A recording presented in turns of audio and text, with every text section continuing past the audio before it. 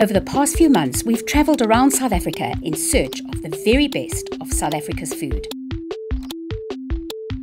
Care and sustainability wowed the judges at Camphors at Vergelegen.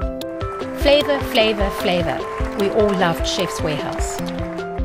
But a simple approach to cooking really shines through at, uh, at Overture. A lovely, playful meal that sort of reminds you of your past. Locally inspired, intelligent and theatrical, the tasting room had us under its spell.